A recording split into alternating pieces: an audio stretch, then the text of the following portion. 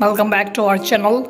Please click on the join button for getting more attractive news of Yaman currently Can Yaman has the photo available on social media which making him again in some problem. There is a scene when Francesco Demir known as Can Yaman kissing the Viola. Viola, the role played by one of the Miss Italian, Francesca Chillemi.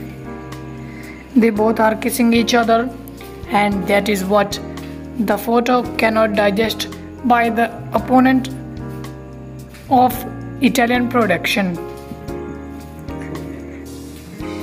While as the chemistry is looking too much good and the series episodes are broadcasting fully on Canal 5 while as Teammate will also getting the contract and he will